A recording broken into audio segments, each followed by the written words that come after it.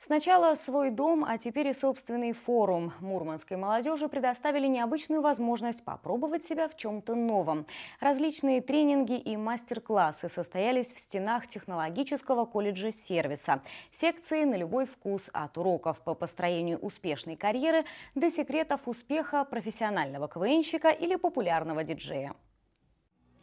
Это вам не веники вязать. Работа за диджейским пультом вовсе не механическая и хаотичная замена одного трека другим. Тут важно слушать. И не только музыку, но и настроение тех, для кого работаешь. Музыка – это музыка. Она делится на такты, квадраты, музыкальные фразы. Это все надо знать, это надо считать. Не так просто свести две какие-то композиции. Для этого надо понимать, что ты делаешь. И, соответственно, знать э, всю эргономику аппаратуры. Одна из секций – мастер-класс «Как стать диджеем». Рецепт несложный, главное – терпение и упорство. Музыка, умение вести себя на публике, выступать перед людьми – это, на наш взгляд, является приоритетным направлением для данного возраста молодежи.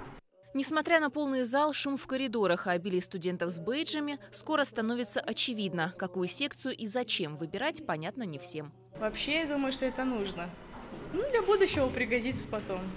И если студенты сомневаются, то организаторы уверены, польза от таких мероприятий велика. Помочь э, получить новые знания, поделиться своими, да, своим опытом. Э, потому что сегодня в городе Мурманске э, численность молодежи 70 тысяч человек. Безусловно, это э, то количество, да, которое требует особого внимания.